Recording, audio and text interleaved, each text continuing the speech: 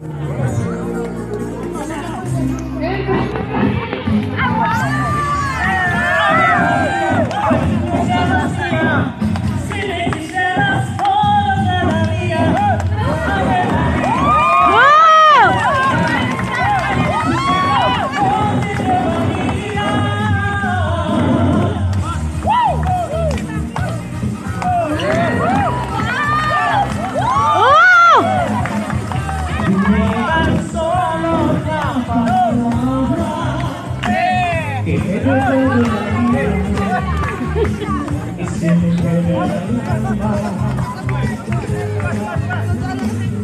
Porque he sentido